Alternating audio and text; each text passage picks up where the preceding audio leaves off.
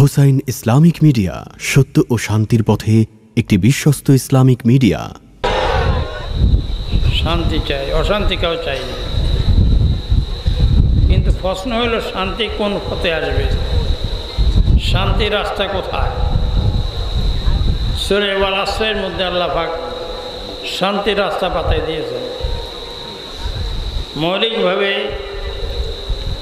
আল্লাহ পাক জমানা কসম খাই বলছেন, সমস্ত মানুষ ধ্বংসের পথে। এই ধ্বংসের হাত থেকে রক্ষা পাবে কারা? এক নম্বর যাদের কাছে ইমানের দৌলত আছে। দুই নম্বর যার কাছে আমলের সলে আছে। তিন নম্বর একে অপরকে ভালো কাজের নির্দেশ দেয়, মন্দ কাজ থেকে বিরত রাখে। চার নম্বর এই কাজ করতে গিয়ে সমালোচনার সম্মুখীন হয়, প্রতিকূল অবস্থার সম্মুখীন হয়, তখন একে অপরকে সবরের শিক্ষা দেয়।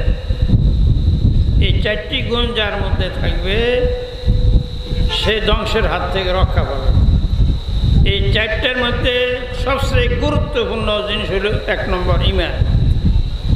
ইমান যদি না থাকে, তাহলে চির অশান্তি জাহান্নাম থেকে বাঁচতে পারবে না চির শান্তি জান্নাত নসিব হবে না। কাজেই মতের ফরে জিন্দিগিতে চির অশান্তি জাহান্নাতে বাঁচা, জান্নাতে যাওয়া চির শান্তি জান্নাতে যাওয়া, এটা নির্ভর করে ইমানের উপরে। আর ইমান কাকে বলা হয়?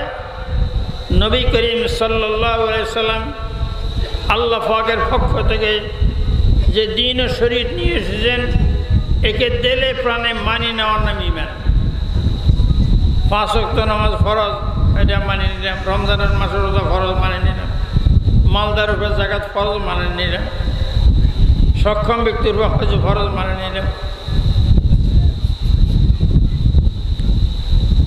এর সাথে সাথে আকিদে বিশ্বাসই আল্লাহকে এক আল্লাহকে সাথে কারও শরিক করা যাবে না। নবী করিম সাল্লাম সর্বশেষ নবী খাতুন নবী রহমতুল্লাহ আলমিন। ওনার পরে আর নতুন কোনো নবী আসবেন না। এই সবই হলো ইমানের অংশ ইমের অঙ্গ। ইমানের পরের নম্বর হলো আমলের সলে। আমলের সলের মধ্যে সবচেয়ে গুরুত্বপূর্ণ আবাদত হল নামাজ। এ নামাজ যদি আমরা সঠিকভাবে আদায় করে নিঃসন্দেহে আল্লাহ পাক আমাদের জন্য জান্নাত নসিব করব কেয়ামতের দিন সর্বপ্রথম বন্দার হিসাব হবে, নামাজের হিসাব হবে। এই জন্য সবচেয়ে আহাম আবাদত হল নামাজ। নামাজের ব্যাপারে সবচেয়ে গুরুত্বপূর্ণ, সবচেয়ে গুরুত্ব দিতে হবে ভাই। কীভাবে গুরুত্ব দিব? এই দুই ধরনের নামাজ আছে, একটা রাবেতার নামাজ একটা জাবেতার নামাজ। আল্লাহ হুকুম নামাজ পড়তে হবে। সেই হিসেবে যখন আজান হয় জমা দাঁড়ানো পাঁচ মিনিট বাকি আছে, এই টাইমে আমি দৌড় দিয়েছি। উজু করতে আসতেন যা করতে, কোনো রকমে যাই জমা ধরলাম। এটাও এক নামাজ। এটা হলো জাবেতার নামাজ। আর হলো রাবেতার নামাজ। সেটা হলো আজানের সাথে সাথে আমি উজু করে এস্তাঞ্জের থেকে ফারেক হয়ে মসজিদে ঢুকে পড়লাম। ঢুকার সময় আল্লাহ তাহলে আবু আবার আহমেতে দূর শরীর পড়লাম প্রথমে এর হয়ে দোয়া পড়লাম। আয় আল্লাহ, তুমি আমার জন্য রহমতের দরজা খুলে দাও। মসজিদে ঢুকার পরে সুনুত থাকলে সুনুত পড়লাম। এরপরে কালাম ফাঁকে তেলাওয়াত করলাম। যারা তেলাওয়াত জানে, দূর শরীর ইস্তেকবার এগুলো পড়তে রইলাম। নামাজ দাঁড়ার আগ পর্যন্ত যত সময় নামাজে অপেক্ষা করব, তত সময় পর্যন্ত নামাজের সব আল্লাহ পাক আমাকে দান করবে আর আল্লাহ পাকের রহমতের ফেরেস তারা আমার জন্য দোয়া করতে থাকবে। তাকবিরগুলের সাথে নামাজ আদায় করে, সুন্নত মোস্তাব পড়ে, দোয়া দুরুদ পড়ে ধীর স্থিরভাবে মস্তিদি বাইরে এলাম এবং বাইরের সময় প্রথমে বাম ফা পরে ডাইন ফা বাইরে করে। আবার দোয়া পড়লে আল্লাহ মিন আসল মিন ফজলিক এই দোয়া পড়ে বাইর হলেন। মসজিদে ঢুকলেন সবের আগে, বাইর হলেন সবের পরে। এটা হলো রাবেতার নামাজ। এই রাবেতার নামাজ যদি হয়, এই নামাজের মধ্যে শক্তি আসবে। এই নামাজ হলে শক্তিশালী নামাজ হবে। এই নামাজ আমাকে আপনাকে সর্বপ্রকার অন্যায় কাজ থেকে বিরত রাখবে। সর্বপ্রকারের খারাপ কাজ থেকে বিরত রাখবে ইন্না সালাত তানহানিল ফাশাই ওয়াল মুনকার। নামাজ মানুষকে সর্বপ্রকারের অন্যায়, অবিচার থেকে ব্যাহির কাজ থেকে বিরত রাখে। কিন্তু সে নামাজ, রাবাতা নামাজ হইতে হবে। জাবাতা নামাজ দ্বারা হবে না। সে রাবেতার নামাজ আদায় করতে হলে আজানের সাথে সাথে প্রস্তুতি নিয়ে আল্লাহর ঘরে ঢুকতে হবে। এবার তিনাংশ নামাজ আদায় করতে হবে। নামাজের নিয়ম, কানুন এ সব কিছু ঠিক যথাযথভাবে আদায় করতে হবে। সংক্ষেপ সময়ের ভিতরে লম্বা আলোচনা সুযোগ নেই ভাইয়েরা। আমার আপনার জীবন হইল বরফের চাকা। বরফের চাকা যেরকম প্রতি মুহূর্তে গলতে থাকে, আমার আপনার জীবন বরফের চাকা প্রতি মুহূর্তে গলতেছে। এক এক শ্বাস করে আমরা নিতেছি, ছাড়তেছি। হাত বাড়তেছে না কমতেছে ভাই? কি বলেন? কমতেছে। একদিন শ্বাস নির্জন শেষ হয়ে যাবে তবে মৌত এসে যাবে। আর মৌত আসার পরে একটা শ্বাসের সময় বাড়াই দেওয়া হবে না। এই জন্য আমার আপনার জীবনে প্রতিটি শ্বাস সবচেয়ে মূল্যবান সম্পদ। এই জন্য প্রতিটি শ্বাসের কদর করা যায়। শ্বাসের কদর করতে হলে কি করতে হবে? আমাকে ন্যাকামাল করতে হবে। গুণের কাছ থেকে বিরত থাকতে হবে। আমি যদি ন্যাক কাজ করি, তাহলে নিঃসন্দেহে আমার জীবন দামি, মূল্যবান হয়ে যাবে। আর যদি খারাপ কাজ করে, তাহলে গুণে কর্ম, জীবন ধ্বংসের দিকে অগ্রসর হবে। হিসেব সোজা মহাজ হাজির। তাই নবী করিম সাল্লাহ হাদিস বাগের সাত ফরমান। উম্মদকে নসিহত করছেন। একতানাম খামসান কাবলা খামসেন। পাঁচ জিনিসের কদর কর, পাঁচ জিনিসের আগে। এক নম্বর হলো হায়াতিক কাবলা মৌতিক। তোমার জীবনের মূল্য বুঝো? মৌত আসার আগে আগে। মৌতের পরে আর কিছু করা যাবে না। কবরে যাওয়ার পরে আর কোনো আবাদবন্দি করা যাবে ভাই? কি বলে, যাবে? এই জন্য আল্লাহ ভাগের হাবিব মুদকে নসিহত করছেন যে, তোমার জীবনের মূল্য বুঝো, মৌত আসার আগে আগে। যা করতে হয়, এই হায়াতের মধ্যেই করতে হবে। তোমার জীবনের মূল্য বুঝো, জীবনের কদর করো। এই জীবন তোমাকে দেওয়া হয়েছে এই জন্যে মৌতের পরে জিন্দিগিতে জাহান্নতে বেছে চির শান্তির জান্নাত অর্জনের জন্য তোমাকে দুনিয়ার হায়াত দেওয়া হয়েছে। কাজেই তুমি তোমার জীবনের মূল্য বুঝো, মৌত আসার আগে আগেই। মৌতের পরে আর কিছু করা যাবে না। যা করতে হয় যতদিন হায়াত আছে, ততদিন ন্যাকামল করা যাবে। এরপরে আর ন্যাকামল করা যাবে না। মজ হাজরেন আল্লাহ ভাগের হাবিব সাহেব দ্বিতীয় নসিদ করছেন, তোমার জওয়ানির কদর করা, বার্ধক্য আসার আগে। মানুষের জীবনের যৌবনকাল সবচেয়ে মূল্যবান সম্পদ, সবচেয়ে দামি সম্পদ। দেশের যুব সমাজ চাইলে দেশকে ধ্বংস করতে পারে, চাইলে দেশকে গড়তে পারে। দেশের যুব সমাজ, আজকে আমাদের যুব সমাজ মাদক আসক্ত হয়ে পড়ছে। চাঁদাবাজি, মস্তানি, হাজাকারি, দুর্নীতিবাজ, বিভিন্ন রকম অপকর্ম লিপ্ত হয়ে পড়েছে। এই জাতিকে ধ্বংসের দিকে নিয়ে যাচ্ছে।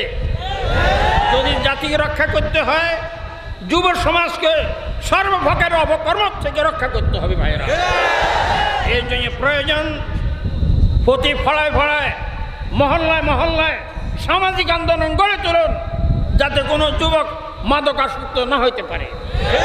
যাতে কোনো যুবক জুয়ার আড্ডা না বসাতে পারে। সমাজ বিরোধী কোনো কাজ না করতে পারে। ফলায় ফলায়, মহল্লায় মহল্লায় আপনার প্রতিরোধ গড়ে তুলুন এই অন্যায়ের বিরুদ্ধে। এই সমাজকে রক্ষা করতে হবে, যুব সমাজকে রক্ষা করতে হবে, যুব সমাজকে ধ্বংসের থেকে রক্ষা করতে হবে। যদি দেশকে ভালোবাসেন তাহলে অবশ্যই আমাদের ভাইদের যুব সমাজ যারা রয়েছেন তাদেরকে ন্যায় পথে ফিরে নিয়ে আসা এটা আমাদের দায়িত্ব। আল্লাহ পাকে হাবিব তিন নম্বর নসিদ করছেন, সে থেকে কাবলা সুকমি তুমি তোমার জীবনের মূল্য বুঝো, আরে তুমি তোমার স্বাস্থ্যের কদর করো। রোগ ব্যাধি আসার আগে আগে। সুস্থ থাকলে দুনিয়ার কাজও করা যায় আখের তার কাজও করা যায়। অসুস্থ মানুষ দুনিয়ার কাজও করতে পারে না আখের কাজ করতে পারে না। সুস্বাস্থ্য, স্বাস্থ্যের কদর করতে হবে। স্বাস্থ্যের কদর করতে হলে সময় মতো খানা খেতে হবে, সময় মতো বিশ্রাম করতে হবে, রোগ ব্যাধি হলে চিকিৎসা করতে হবে। যত রোগ ব্যাধি সৃষ্টি সব অনিয়ম থেকে। এই জন্য আমাদেরকে স্বাস্থ্যের ব্যাপারে যত্নবান হতে হবে। সময় মতো খানা খাওয়া, সময় মতো বিশ্রাম করা এবং রোগ ব্যাধি হলে সাথে সাথে চিকিৎসা করা। যে স্বাস্থ্য ঠিক থাকে, তাহলে নিঃসন্দেহে এটা বহুত বড় নায়ামত। এর দ্বারা আমরা দুনিয়া আখরাতের কাজ দুটোই করতে সক্ষম হব। এই জন্য আল্লাহ পাকের হাবি উপদেশ দিয়েছে উম্মদকে স্বাস্থ্যের কদর করো, অসুস্থ হওয়ার আগে আগে। চার নম্বর নসিহত, জ্ঞানা কাবলা ফকরে। মালদারির কদর করো দরিদ্রতার আগে। আমাদের সমাজে এরম বহু ভাই রয়েছেন দশ ফ্যাক্টরির মালিক। এখন দেখা যায় ঋণ খেলাবি হয়ে ফ্যাক্টরি সব বন্ধ হয়ে গেছে। এরম লোক নেই ভাই সমাজে। এই যে সমাজের দুরবস্থা, টাকা যখন ছিল, ওই সময়টা কদর করে নাই। এমন বিপদ আসছে, এখন ঋণ খেলাবি তলে পড়ছে। ব্যাংকে ঋণও দিতে পারে না ফ্যাক্টরি চালাতে পারে না। এই সমস্যা কেন সৃষ্টি হলো? মালদারির কদর করা হয়নি। শরীয়ত সুদকে হারাম করেছে। সে সুদি কারবার করে, এই বিপদটা নিয়েছে নিজ হাতে। যেখানে কোরআন সুদকে নিষেধ করছে, সুদমুক্ত ব্যবসা করলে আজ ঋণ খেলাপের এই বিপদে পড়তে হয় না। কোরআন এই আদেশ লঙ্ঘন করার কারণেই ঋণ খেলাপের আজাবে মুক্তলা হয়ে দশ বিশটা ফ্যাক্টরির মালিক আজ পথে বিক্রি হয়ে গেছে। কেন হলো ভাই? এই বিভেদ কেন আসলো? সুদি কারবারের কারণে। যেসব ব্যবসায়ীরা সুদমুক্ত ব্যবসা করতেছে, তাদের কোনো ফেরেশানি নেই। তাদের ব্যবসা সুন্দর চলছে। যারা সুদি কারবারি করে, শত শত কোটি টাকা ব্যাংকের নিয়ে বসে বসে রয়েছে, এখন দিতে পারে না, তাদের ফ্যাক্টরি বন্ধ হয়ে গেছে। এই জন্য ভাইরা, মালদারির কদর করে চায় গৌরবতার আগে আগে। পাঁচ নম্বর নসিদ করছেন আল্লাহ ফাঁকাম ফরা আগে কাবলা সকলে ফুরসতের সময়ের কদর করো ব্যস্ততা আসার আগে আগেই আল্লাহ পাকের হাবিব সাল্লামের নসিহত মণিমুক্তার থেকে বেশি দামি। হীরা জওহর থেকে বেশি দামি এক একটা নসিহত। এই একটি হাদিসের উপরে যদি আমরা জীবন গড়ি, নিঃসন্দেহে আমাদের জীবন বনে যাবে, আমাদের জীবন উড়েনি হবে, আমাদের জিন্দিগি দামি হবে ভাইরা আজকে আমাদের মাতৃভূমি যে অবস্থায় চলছে, এইভাবে একটা দেশ চলতে পারে না।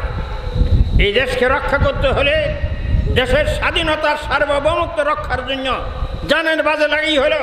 দেশের স্বাধীনতার সার্বভৌমত্বকে রক্ষা করতে হবে আমাদের। রোহিঙ্গা মুসলমান, তারা হলো রাষ্ট্রবিহীন নাগরিক। তাদের জীবনের নিরাপত্তা নেই মানে নিরাপত্তা নেই, আবৃত্তিতে নিরাপত্তা নেই। তারা কেমন দুরবস্থায় রয়েছে? এরা হলো রাষ্ট্রবিহীন নাগরিক।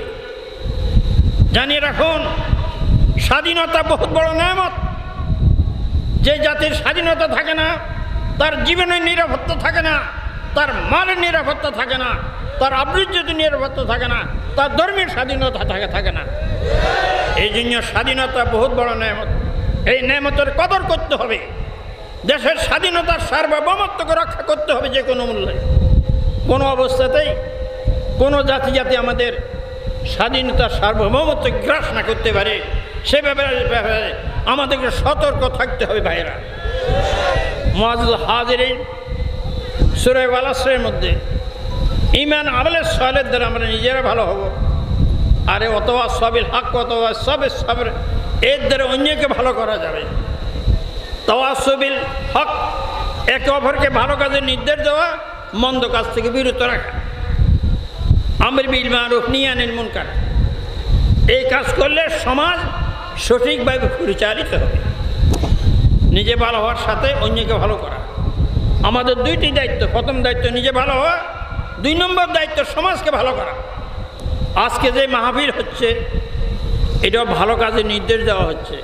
মন্দ কাজ থেকে সমাজকে রক্ষা করার এটাও একটা প্রয়াস। নিঃসন্দেহে সমাজ গঠনে, জাতি গঠনে, দেশ গঠনে এই দিনই মাহফিল একটা মাইল ফলকের কাজ করতেছে। এইসব দিনই মাহফিলের গুরুত্ব সর্বাধিক। এই জন্য অবশ্যই নিজে ভালো হওয়ার পাশাপাশি এই সমাজে জাতিকে রক্ষা করার ইনশাল্লাহ আমরা আপনার চেষ্টা করব। আল্লাহ এই জাতি সমাজে রাষ্ট্রকে রক্ষা করার আমাদের যেন তৌফিক দান করে আমিন। সর্বপ্রকারের অন্য বিচার থেকে আমরা বাঁচতে পারি সেই তৌফিক দান করেন। মহাজ হাজরিন মানুষ গুণা করে দুই কারণে। এক হলো নফসামারা ধোকা পড়ে আটো শয়তানে ধোকা পড়ে। আমরা যদি একটা সিদ্ধান্ত গ্রহণ করি, আমি গুণের কাজ করব না। গুণের কাজ না করলে কি হবে? আমার জীবনে তাকোয়ার জিন্দিগি আর তাকোয়ার জিন্দিগি হলে আমার জিন্দিগি হবে নুরানি। আমার জিন্দিগি হবে মাল, মূল্যবান। আর দুই নম্বর হলো ন্যাক কাজে অবহেলা করব না। গুণা করব না, এক নম্বর। দুই নম্বর ন্যাক কাজে অবহেলা করব না। এই দুটি কাজ যদি আমরা করতে পারি গুণের থেকে বিরত থাকব আর নেক কাজে অবহেলা করব না।